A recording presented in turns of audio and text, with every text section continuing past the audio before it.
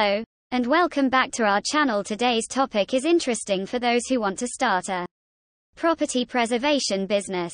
One of the most often queries posed by aspiring entrepreneurs are show. Much does it cost to establish a property preservation business? You're in luck because we'll be delving into the costs of launching this type of business.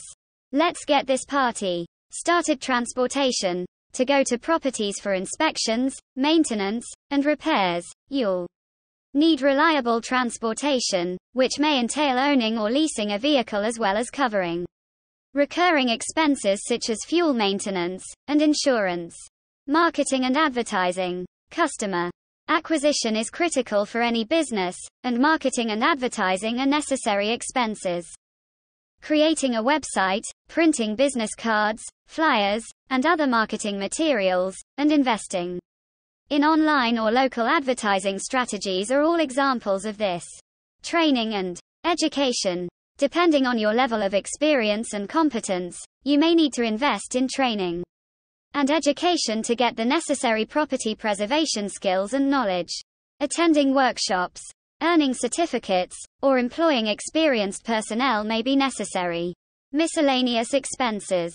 Other expenses to consider include office supplies, software or technological tools, and initial operating costs like as opening a business bank account and paying legal fees to register your business.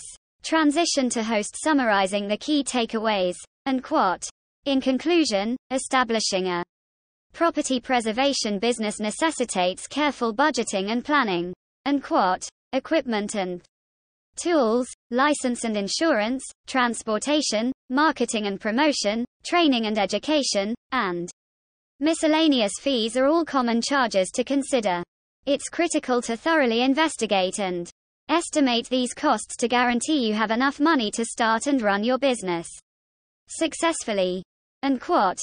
Closing scene. And quote. That concludes the talk today of the costs of starting a property preservation business. And quote. I hope you found this information useful as you design your new business. Don't forget to give us a thumbs up if you enjoyed this video and to subscribe to our channel for more useful stuff. Thank you for taking the time to watch, and best of luck